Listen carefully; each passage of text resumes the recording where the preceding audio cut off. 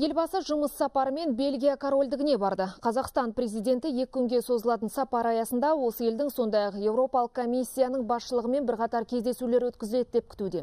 Дәл осы Брюссельде Қазақстан мен Евроодақ арасындағы әріптестік пен ынтымақтастық жөніндегі жаңа келісім аясындағы үш жылдық келіссөздер аяқталады деген жоспар бар. Бұл құжат негізінде 29 сала бойынша ынтымақтастық қарым-қатынас нығая түспек. Олардың қатарындағы ең маңыздысы экономика, сауда-саттық және инвестиция болып табылады.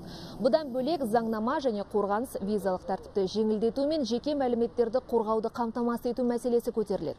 Қазіргі уақытта бұл құжатты Европа одағының құрамына кіретін 28 елдің тіліне аудару жұмыстары жүргізілуде. Европа парламенті қол қойып іс қағаз жұмыстары келесі жылдың басында аяқталады деп күтілуде. Қазақстан Ресеймен ынтымақтастық достық байланыста Еуропа одағы және ақшпен стратегиялық қарым-қатынас орнатты. Сондай-ақ қазақ елі еуразиялық интеграция жобасын дамытуды ал шығыста елдеріңіз Қытаймен әріптестікті нығайтып отыр. Қазақстан өзінің саяси және экономикалық тәуелсіздігін сақтай отырып, барлық елдермен достық қарым-қатынаста өмір сүруде.